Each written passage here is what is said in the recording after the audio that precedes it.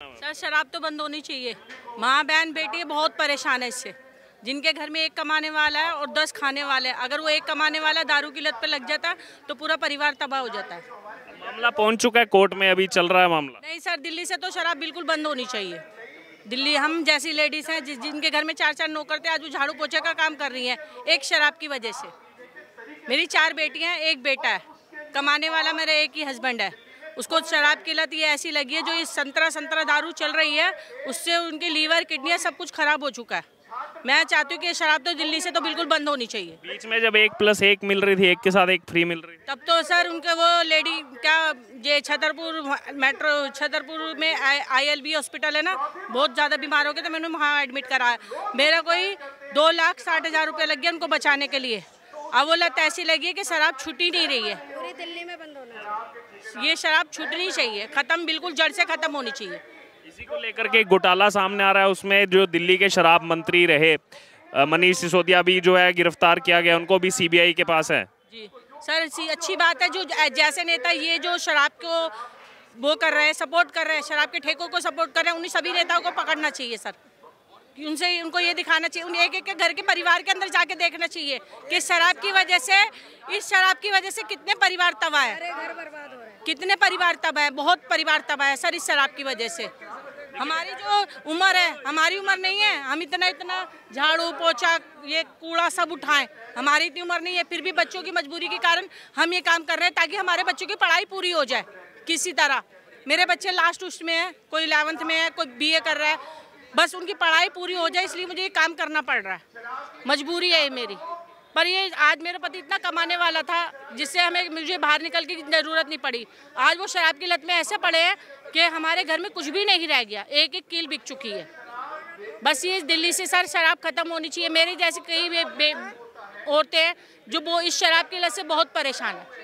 बस मैं ये चाहती सर, ये दिल्ली से शराब बिल्कुल बंद होनी चाहिए। लेकिन दिल्ली में आम आदमी पार्टी सरकार तो जगह जगह नुक्कड़ सभाएँ कर रही है अपने आप को कट्टर ईमानदार बता रही है कह रहे हैं कि फंसाया जा रहा है दारू को क्यों सपोर्ट कर रही है? क्या उन्हें नहीं पता कि दारू से कितना नुकसान है? दारू से कितनी परेशानियाँ घर में आ रही हैं? क्या ये वो लोग ये नहीं जानते हैं? इस चीज़ से वो लोग बे, बेफिक्र है? उनको ये पता होना चाहिए ना कि दारू से परेशानी कितना है? पूरा पूरा परिवार बर्बाद है। ये चीज़ें नहीं दिखाई देती उन्हें, जो दारू को सपोर्ट कर रहे हैं या ठेकों को सपोर्ट कर रहे हैं, जो एक के साथ एक फ्री करा था, उनको ये नहीं पता, जो नहीं भी पीते वो डबल पी रहे हैं। उनका काम धंधा सब बर्बाद हो गया, उन्हें ये नहीं दिख रहा कि आँखों से अंधे हैं, कानों से बह रहे हैं, जो रो, औरतों की घरों की रोने की आवाज़ सुनाई नहीं देती, बच्चों की भूख समझ नहीं आती। हमें पता है लॉकडाउन में हमारा कितना बुरा हाल है, उसके बावजूद भी उन्होंने एक के साथ एक फ्री कर दिया, जो थोड़ा बहुत कमाते थे हमारे घर में, वो भी बंद हो गया। अब जब इंसान दारू पिएगा तो क्या कमाएगा? जिनके यहाँ का, का दारू पिए जब दारू पी के किसी काम पे जाएगा वो तो काम करवाएँगे नहीं। कि जा तू दारू पी रहा यहाँ से जा पहले। जब सोपते वो तब आना। कोई ऐसे दारू पीने वाले से काम नहीं कराता सर। मैं बहुत परेशान हूँ। आज मेरी बोलने की सिमारा हिम्मत हुई कि दिल्ली में दारू बंद होनी चाहिए। और जो जो भी नेता है ना जो दारू को सपोर्ट करते हैं उनके खिलाफ एक्शन उठाना चाहिए। सो so, uh, मेरा बस यही कहना है कि हम निरंतर अथक हमारे जो प्रयास हैं, चाहे वो शराब घोटाले को रोकने की बात रही हो, या फिर हमारी इस्तीफे को मांगने की बात रही हो, हम इसको निरंतर जारी रखेंगे।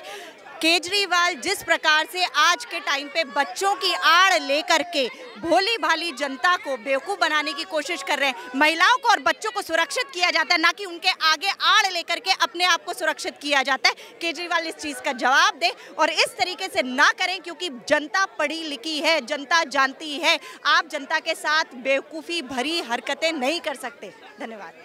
यहाँ पर अगर बात की नौ विपक्षी दल आए हैं एक साथ पीएम मोदी को चिट्ठी लिखी है उन्होंने कि देश में जो है लोकतंत्र की जगह तानाशाह चल रहा है। देखिए वो जो है ना जब सब कहते हैं ना गधे घोड़े खच्चर सब अब एक जगह मिल जाते हैं शेर तो समझ लीजिए कि सामने से, शेर है। तो मोदी जी वही शेर है और मोदी जी के इन सब बातों से कोई फ़र्क नहीं पड़ने वाला है जनता सब जानती है। वो भारी संख्या में जो है पूरी जनता मोदी जी के साथ है पूरा देश। लगातार यहाँ पर जो है वो नारेबाजी की जा रही है इनसे बात करेंगे। जी कोर्ट में एक, तरफ़ जो है वो पहुँच चुके हैं कोर्ट में कार्रवाई चल रही है इसको लेकर फिर भी प्रदर्शन निकाले जा रहे हैं। सर जी की ये एक पे एक फ्री किया बहुत गलत किया गरीब मर गया इसी में कितने के गुर्दा खराब हो गया किडनी खराब हो गया किसी को पूछता भैया स्वाद लग रहा है करा नहीं पानी जैसा बोतल पे बोतल पीता गया कितने मर गया दम तोड़ दिया गरीब के लिए एक किलो राशन फालतू दे देता, दारू फालतू क्यों दिया? एक किलो राशन फालतू देता तो बच्चे का जीवन भर जाता। एक पर एक फ्री दे के कोई गुणगान नहीं रहा। जी, केजरीवाल जी की करनी में और कथनी में बहुत अंतर है। वो कहते कुछ हैं, करते कुछ हैं। आज तक उन्होंने दिल्ली की जनता के लिए कुछ नहीं किया।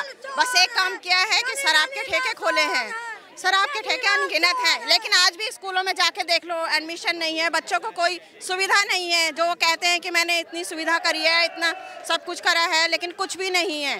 राशन वो ठीक नहीं देते हैं सब कुछ भी अच्छा नहीं कर रहे हैं यहाँ पे दिल्ली की जनता के लिए कुछ भी नहीं। होलिका दहन कर दिया गया है दिल्ली सरकार के भ्रष्टाचार का।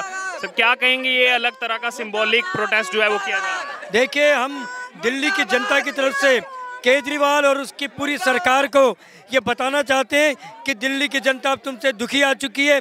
तुमने घोटाले ही घोटाले करे हैं। तुमने कांग्रेस की सरकार को भी पीछे छोड़ दिया और घोटालों की सेंचुरी बना दी। संजय सिंह लेकिन इसको लेकर कहा जा कह रहे हैं कि मानसिक उत्पीड़न किया जा रहा है केजरीवाल का वो मनीष सिसोदिया का। देखिए वो कुछ भी कह सकते हैं क्योंकि अब उनके घोटालों का पर्दाफाश हो रहा है और उन्हें खुद भी ये मालूम है कि आने वाले दिन के अंदर दिल्ली का मुख्यमंत्री और उनका पूरा मंत्रिमंडल और उनके सहयोगी सब जेल में जाने वाले हैं। जी मैम क्या केजरीवाल ने घोटाले किए हैं उन्हीं का आज ये पर्दाफाश किया जा रहा है सारी पार्टी के लोगों को मिलकर किया जा रहा है देश को जनता को जागरूक करने के लिए। थैंक यू सर, मैं मंजली मेहंदी वाली हूँ। मैं पैंतीस साल से यहाँ पे मेहंदी का काम करती हूँ। पर अभी तक कोई ऐसी सरकार नहीं आई जो पटरी वालों को ऊपर उठा दे। एनडीएमसी हमारे साथ बहुत अत्याचार करती है। हमारी कमेटी आती है यहाँ पे और हमारा सारा सामान उठा के ले जाती है। हम लेडीज़ हैं। पैंतीस साल से सफ़ाई कर रही हूँ मैं। हनुमान मंदिर, कनाड प्लेस, सी मंदिर के बिल्कुल सामने। शीला दीक्षित ने छोटे छोटे थड़े बनाए थे। उन्होंने बोला कि, नो एनडीएमसी, नो पुलिस। वो आपको परेशान नहीं करेगी। फिर भी हमें परेशान किया जाता है। पुलिस वाले भी पैसा मांगते हैं हमारे से। एनडीएमसी वाले भी मांगते हैं। सर, हम लेडीज़ हैं। हम अपने बच्चे पालेंगे, पढ़ाएँगे। मेरी लड़की सीए है चेन्नई में। मेहंदी लगा के अपने बच्चे पढ़ाए मैंने। एक लड़की मेरी एच एम मैनेजर है। उसको ही मेहंदी लगा के धूप में बैठ के, या पत्थर देखिए, कितना गर्म है। आप आधा घंटा नहीं बैठ सकते, सर। हम सारा दिन बैठते फिर भी हमें गवर्नमेंट एनडीएमसी हमें सहयोग नहीं करती है, मदद नहीं करती। सब जगह अंधा कानून है। मेरी ये डिमांड है कि कोई भी सरकार हो, चाहे केजरीवाल हो, चाहे बीजेपी हो, चाहे आम आदमी पार्टी हो, चाहे कमल हो, मेरे को प्रधानमंत्री मोदी जी से रिक्वेस्ट है कि सारे पटरी वालों को पक्का कर दे। आई कार्ड दे दे उनको, उसके बाद पटरी बिल्कुल सफाया कर दे। सर, हम पैंतीस साल कम नहीं होता, सर। बूढ़ी हो गई मैं। सातवीं क्लास में पढ़ती थी। सातवीं क्लास में पढ़ते पढ़ते आज मैं दादी हूँ। दादी की अवार्ड है सर मेरे पास। और अभी मैराथन दौड़ में फ़र्स्ट आई हूँ। अभी जो मैच हुआ है। सैंतीस अवार्ड है मेरे पास भारत सरकार का। उसके बाद भी सरकार को दिखाई नहीं दे रहा। पहले गोरे ना, कालों को मारते थे। अब काले काले को मार रहे। ये है जमाना। जिसके पास पैसा है, उसी की मीडिया है, उसी की जल थल वायु है। हमारी कोई सिक्योरिटी नहीं है, सर। एक होम गार्ड नहीं होती हमारे पीछे। आप कभी आके चुपके से वीडियो बना के देखना। ये सब झूठी कहानी चल रही है। कभी चुपके से आना रात को। बहुत गुंडागर्दी होती है यहाँ पे। चुपके से पैसा लेते हैं लोग। रिश्वत तो कभी ख़त्म नहीं होगी भ्रष्टाचार कभी ख़त्म नहीं होगा। ये मैं दावे से कह रही हूँ। सच्ची की जला। अगर किसी की बुराई करनी है तो सच्ची की जलाओ, सर। और जहाँ पे दारू बिकती है, वहाँ सिलेंडर बिकना चाहिए।